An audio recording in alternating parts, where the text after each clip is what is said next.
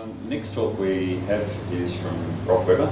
Uh, it's going to be talking about turtles. Rolf um, uh, started off in 1969, I believe, and working at the Irrigation Research Station in Kerang. uh, and then in 1975, started working for the Fisheries Wildlife Division and all the incarnations of departments ever since until his retirement in 2012. Should have hung months, you would have got another name badge. There you go. So thank you, Rob.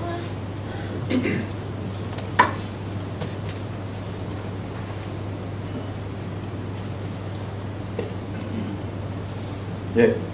Um, I've been involved in a, in a study for broadshell turtles um, in the lower Goulburn uh, uh, River region, um, including the, the Forest.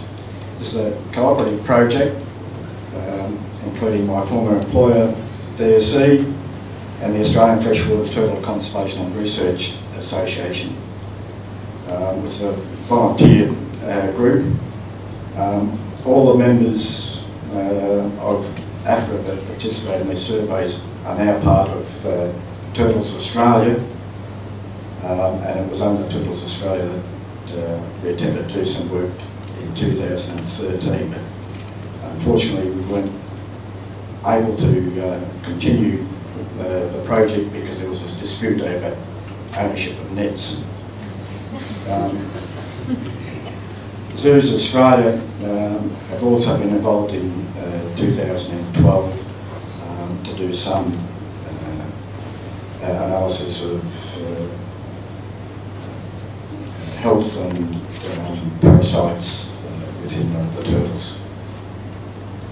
So the aims of our project was to confirm first that the presence of turtles at various uh, wetlands, uh, to identify areas where there might uh, be some opportunities for nest protection um, and targeted uh, fox control, as Katie pointed out the other uh, uh, morning, that foxes take a, a large percentage of our um, eggs destroy the nesting uh, sites.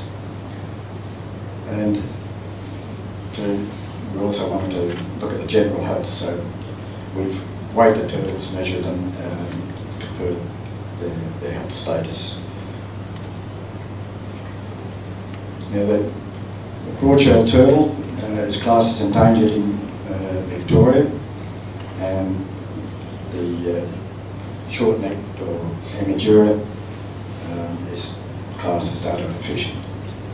The reasons for, for that is that uh, the endangered species are uh, at risk of disappearing in the wild if the present land use and other causes uh, continue. Um, and the Emydura is, uh, its status is there, it's at risk because we just don't uh, know enough about its uh, uh, ecology and distribution to you know, be sure exactly where it, it sits uh, within its threat status. Uh, as Kate mentioned, there's three species of, of turtles. Um, the uh, Emydura, which is uh, on the left-hand hand side. I've taken the, the shot within the, uh, the buckets that we transported the turtles just to give you uh, some idea of the, the difference in sizes. Uh, the Emydura, the long-necked uh, turtle, which we're all familiar with in farm dams, um, and the broad-shelled uh, turtle. The, broad-shelled turtle, um, ones that we've caught, was just shy of uh, six kilogram, um, and just shy of half a metre in uh, carapace length.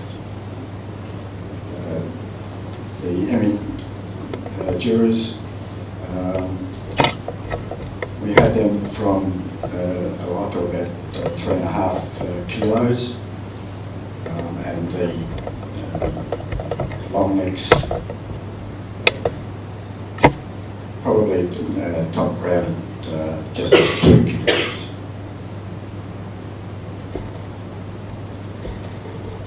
That's a shot of the um, broad-shelled turtle. Upside down, um, see the, the size of that uh, neck uh, and the strength of, uh, of that neck uh, compared to the ordinary long-necked turtles. Um, the, it's reported that the broad-shelled turtle doesn't suffer from predation from foxes as much as the Emydura does because they're, they're heavy and harder to turn over. If you do turn them over, they just go starfish. But arms and, and legs uh, stick out. So if a fox managed to uh, get them over, he'd certainly get a feed. Um, and they come down to, um, when they hatch out of the eggs, at uh, 35 millimetres. Uh, this was uh, a little fellow um, which was located down at uh, Tabuk Lagoon. Uh, you can notice there that uh, the, the shell's just about closed up from absorbing the, uh, the yolk sac. And he was intercepted uh, coming out of the, vineyard, um, just about to enter the, uh, the wetland. And the differences of, of the uh, Emydura um, short-necked uh, species. Um, and it, not able to tuck its neck in as well as the other ones and uh, is very uh, prone to being attacked by foxes at, uh, at nesting time. So the reason we got concerned is that within Victoria, um, with our DSE database only had 29 legitimate records. There were actually 41 records in the, uh, the database. Um, but when I looked at them, um, when you have the same person find the same turtle at the same location on the same day, uh, they're probably duplicates. um, and there were three records uh, of the broad-shelled turtle. This one's associated with the Murray River and the, the tributaries uh, to the Murray. Um, when you find them down in, uh, uh, in the Yarra River or in uh, Albert Park Lake, they're probably escapes from somebody's uh, uh, fish tank. And surprisingly, there was only one record uh, within the Goulburn uh, catchment. Um, I know that there have been uh, more reports that for some reason our DSE uh, database hasn't kept up with that. Um, it's not a fault of the people running the, the database, probably just a lack of resources. But we probably do need to um, uh, pick up some of the management uh, of our um, legislation. Um, for instance, uh, we have people that, um, that are involved in um, rescuing uh, animals. They have to put in returns. I discovered uh, when people got aware of our survey um, at Yarrawonga, the lady said, oh, well, I've been catching these broadshell turtles and I've got a couple that I'm fixing the shell on. Those reports have been going down to, to DSE, But, uh, DSE haven't been taking those records from wildlife shelters and putting them into the database. Um, there are uh, some issues with regards to is a person competent to identify the species but I'm sure we put resources into uh, checking the validity, making sure that if we wanted to know more information, that they took some photographs, something that we could add substantially to our, our knowledge from processes we've already put in training for people to report uh, to us. Similarly with the, the Murray River uh, turtle, um, there's quite a lacking in uh, reporting.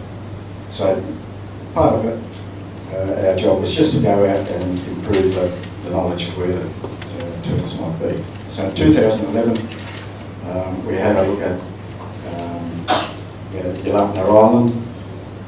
Uh, within the national park area, there's a couple of uh, large uh, billabongs, the, uh, particularly the Dead River and um, the uh, Dead End Lagoon. Um, we did nest surveys along the Murray River uh, within the, uh, the area of, that uh, graph.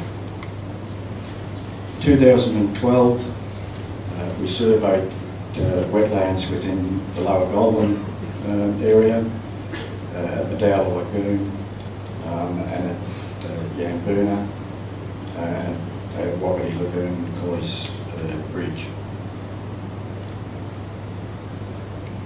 The equipment we, we use, like there's a lot of fish surveys, but uh, a lot of fish people aren't reporting uh, uh, turtles. So it's a specialised uh, equipment to catch the turtles. Um, uh, cathedral nets for catching uh, Emyduras and the broad shell. Um, we have a bait in the, the bottom uh, structure. It's a little, oops.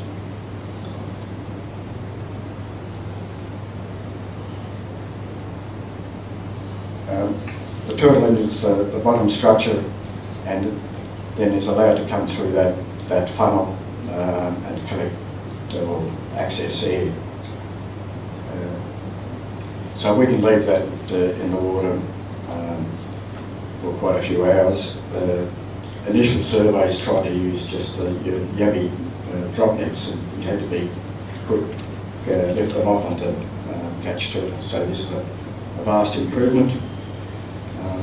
We usually place these nets by walking them, them out because it's, it's important that uh, the net sits on the bottom, uh, otherwise the turtle's going to access the bait from underneath. So uh, we find walking them out and kicking the, the net to make sure it's on the, the bottom is a lot safer than dropping it out from a bait. Um, you can uh, use the bait as well. Uh, we also use fight nets uh, in the very shallow waters where we uh, expect the uh, eastern long neck to be. Uh, he also mentioned that uh, as soon as there's a, a bit of water in the floodplain, um, the long neck gets out of the main water bodies and accesses every puddle and burrow pit that there is to feed. So we didn't expect to find uh, any of the other turtles here, but we couldn't say that uh, the other turtles aren't there unless we actually uh, look for them as well. So, so in those two years, um, we've confirmed that uh, there's presence of Murray River turtles uh, and broadshell turtles at Yalupna Island, Medalla Lagoon, Rocky Creek, and of course uh, Bridge. So just about every spot we've been to, we've uh, found them. And because we were out there looking for, for turtles, um, and we talked about what we were, were doing, um, we also had a number of people uh, present us with their information. As I mentioned, we had the Developed Lagoon and people say, I've got uh, nesting turtles. Um, we've had people at uh, McCoy's Bridge show us photographs of where they uh, see nesting turtles.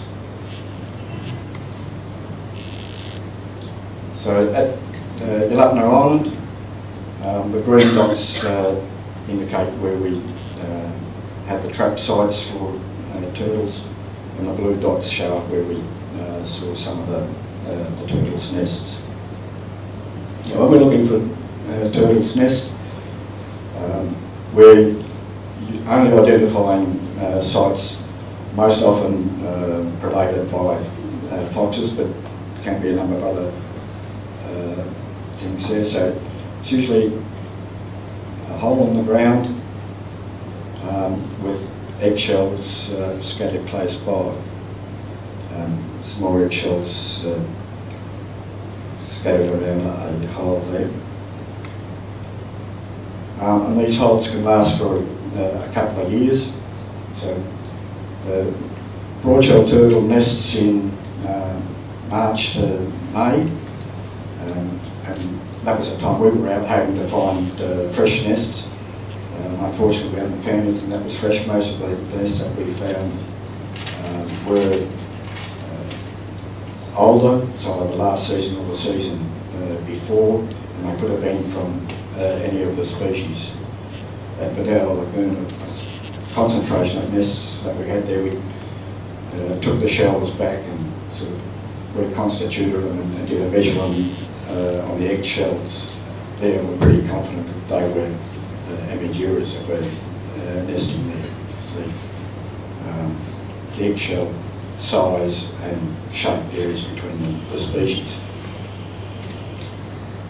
Um, the uh, little bush in the foreground is a new nest, uh, most likely of the broad-shelled uh, turtle, um, because it was um, uh, seen there nesting in uh, April, just uh, before Anzac Day, um, a couple of years ago.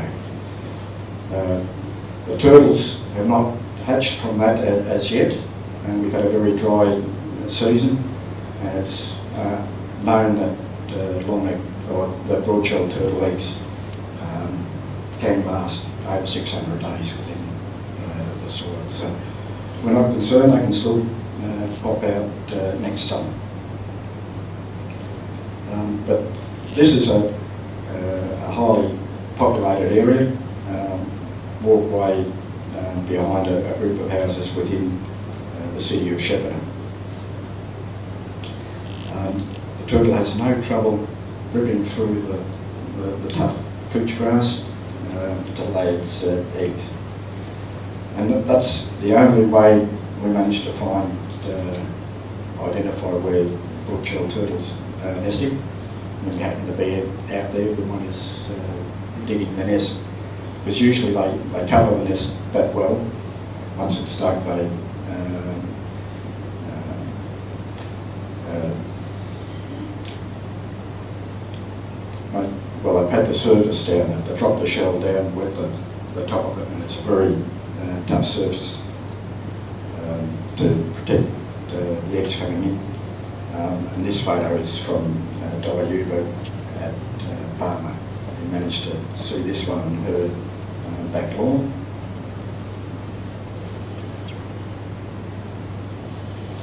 Um, a couple of other sites of uh, where we're looking for turtle eggs at, at Dead River. A gentle slope there, easy for the turtles to, uh, to get out. Um, and at the Dead End Lagoon, the little red flags indicate where uh, the turtle nests were found. We usually use a trail when we find uh, those nests because often after the fox has predated it, there might be one or two uh, eggs left uh, within the nest. Um, and if we, we find any eggs in there, cover the, the hole up again and protect it with some uh, netting um, to protect anything else sticking up. And at um, Gunbower, the people from Turtles Australia have had a, a few successes in um, hatching turtles out from those sorts of uh, locations. Some of the sites we were looking for uh, turtle uh, eggs, nest sites, um, were some of the, the sandhill areas. When we found them covered in uh, caltrop uh, or spiny burrgrass, and if you're going to try to walk through spiny burrgrass, you only get a, few metres and you're back out pretty quick. And I assume that the, uh, the turtles might do the same. A um, couple of other uh, problems that the turtles might uh, have, some of our uh, waterway management. Um, you know, we, Broken River, for instance, we used to uh, call it river improvement work, and we ripped out all the snags and uh, we've undercut the, the whole of the, the Broken River uh, by metres uh, with steep banks. So obviously turtles are not going to be able to, to climb out of the, the river to nest there. It's probably not a, great because there will be plenty of other bends and things that uh, they can get out. But um, shortly after we surveyed for nest sites because nobody else could get in there, um, as soon as they could, uh, that was what the nest site uh, looked like at uh, End Lagoon. Um, that's a, a view of uh, the lagoon at uh, Medela and the turtle nest sites that we found indicated there with the blue uh, stars. Um, we were hopeful that we might find more nests there this year because at the time that we looked there, the only available nesting site was right against the river, um, with the sand hill being St. Lucerne. Um, but the lucerne crop was a, a failure, and when we went out there this year to check it was any new, we found the whole place um, uh, ploughed up a bit. So the only uh, available nesting site was a short, short strip in this uh, sandy loam uh, soil. Uh, a quick view of um, Corus Bridge. Um, the resident there um, has located the, the broad shell and um, walking backwards and forwards um, and uh, managed to take some photos so we could confirm that identity. And they did find some turtle eggs in the levee bank, um, but we're not too sure what species they were. So the, the take-home uh, message is that uh, all the species uh, that will demonstrate connectivity uh, of the floodplain and its importance uh, with the river, the turtles is one, but unfortunately at this stage we, we haven't got enough records to, to put that to use. In fact, the, uh, the whole Broken Creek system hasn't got one record of turtles uh, in our database, so when the scientists reviewed how do we manage the Broken uh, Creek, uh, turtles didn't get a, uh, a mention.